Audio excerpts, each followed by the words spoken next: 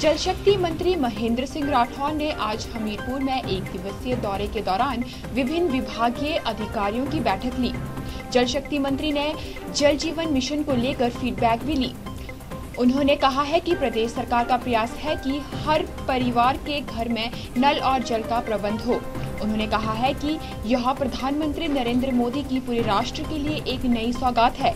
इस योजना के तहत हर घर में नल लगना है और जल का प्रबंध किया जाना है। इस प्रकार का प्रयास है कि योजना के तहत साफ़ सुथरा जल हर परिवार को मुहैया करवाया जा सके। विषयों को लेकर के है। इसमें सर्वप्रथम तो जल शक्ति विभाग की ऐसी बहुत योजनाएँ और उसमें जो प्रमुख योजना है, वो जल जीवन मिशन है।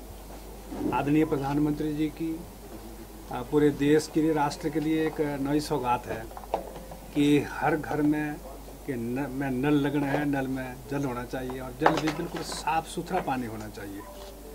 उस दृष्टि में आज हिमाचल प्रदेश वर्ष 2019-20 में प्रथम स्थान पर रहा है पूरे भारतवर्ष में। हमें इंसेंटिव के रूप में जो है वो भारत सरकार ने इसके लिए धनराशि भी दी है।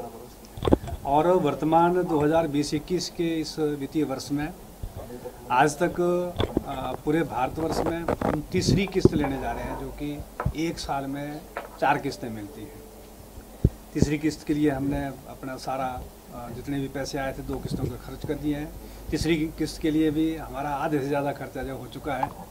तीसरी किस्त के साथ हम चौथी किस्त ले लेंगे।